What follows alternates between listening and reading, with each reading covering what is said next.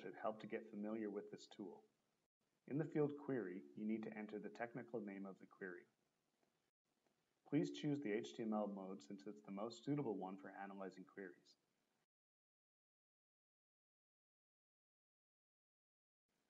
The most important buttons are Execute, Execute and Debug, Properties, and Technical Information.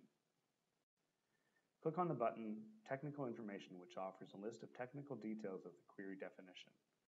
For instance, you get information displayed about the info provider the query is defined on and the usage of OLAP features like constant selection and exception aggregation. Back on the main screen, we press Properties in order to check some of the basic query settings. For instance, this sample, sample query uses the cache mode 5, which is the recommended one. Read mode H is the default setting and the best one for most of the queries. Please note that the URL parameter variable screen equals x is necessary to get the variable pop-up displayed if no mandatory variable is included in addition and it is recommended to use the default template 0 ad hoc. Now we execute the query 0d fcc01 sample query 1. Now we fill up the variable values.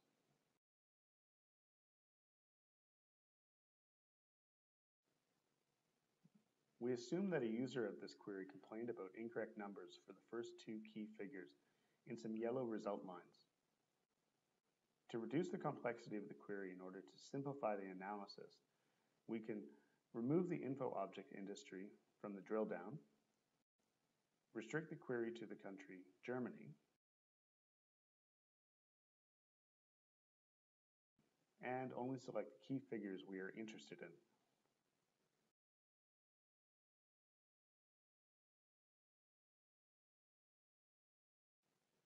Then we can save a bookmark which can be used for all further checks.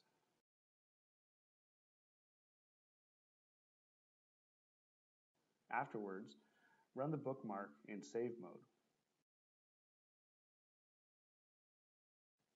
This is a convenient way to switch off some functions which could lead to wrong numbers.